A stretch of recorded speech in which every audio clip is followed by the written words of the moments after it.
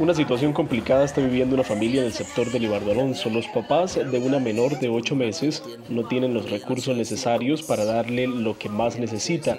Quedaron con las manos cruzadas a raíz de esta situación que se vive y no han recibido ayuda por parte del gobierno.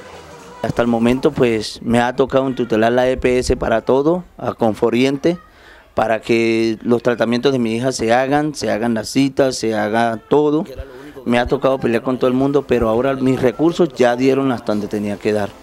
No puedo comprar pañales, no puedo comprar leche, no puedo comprar muchas cosas que necesitan mis hijos, mi hija, que es la que más lo necesita, como medicina, porque hasta para la medicina tengo que rogarle a la conforiente y cosas que no me lo han dado me ha tocado de bolsillo mío conseguirlas. La menor ha tenido una serie de dificultades en su salud y que la tienen que tener en condiciones que se encuentra en estos momentos para poder sobrevivir. Tengo un pote de leche cada tres días que vale 90 mil pesos, que para conseguirlo me veo a gatas, pañales, pañitos, comida para estos muchachos, ¿sí?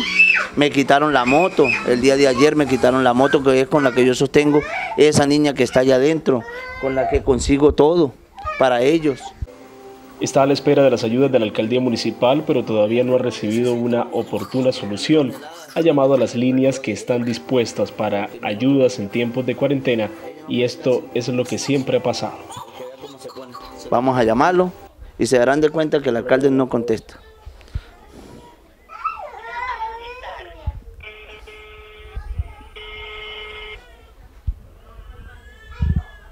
Y el señor alcalde sabe que soy yo el que le está pidiendo esta ayuda y no me contesta. ¿Qué hizo? Casi me meten preso en el parque por la revolución que se armó y él no hizo nada.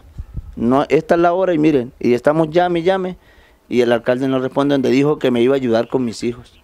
Esta familia espera que las ayudas se den por parte del gobierno para poder sobrellevar esta crisis.